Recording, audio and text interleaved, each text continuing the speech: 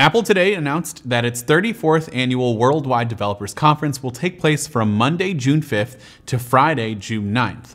Like WWDC 2020, 2021, and 2022, WWDC 2023 will be an online event for the most part, and it will be open to all developers at no cost.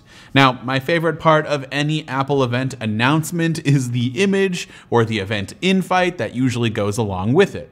The WWDC 2023 image is a simple one. It's just a rainbow or a bunch of colorful arches, but Many people online have already started to take theories to a whole new level.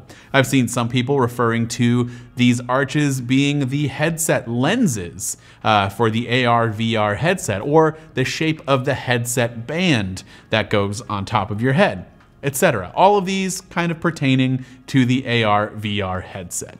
And it makes plenty of sense that the headset is kind of what everyone is going to immediately, since that's the widely rumored main event of the show. And I suppose I could see all of those theories making a ton of sense when it comes to this image. Now, speaking of the keynote, Apple will hold a keynote event on Monday, June 5th, to show off iOS 17, iPadOS 17, tvOS 17, watchOS 10, and macOS 14. Plus, again, there could be new hardware announcements. This year, we're obviously expecting to focus all around the AR VR headset that Apple has had in development for quite some time, but we could also see the Mac Pro and a 15 inch MacBook Air.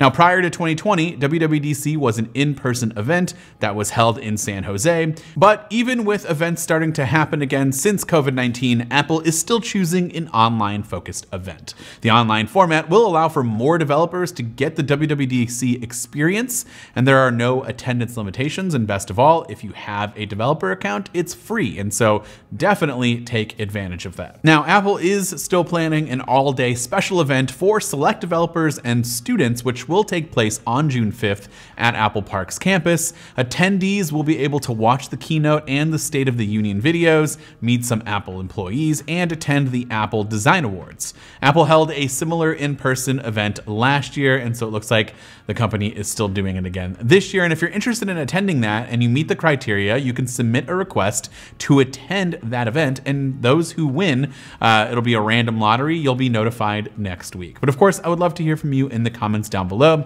What are you most excited about for WWDC? Yes, I finally want to hear more about this headset, but I'm a big software person, so I want to see all of the new features with iOS 17, iPadOS 17, and macOS. But again, I want to hear from you in those comments down below.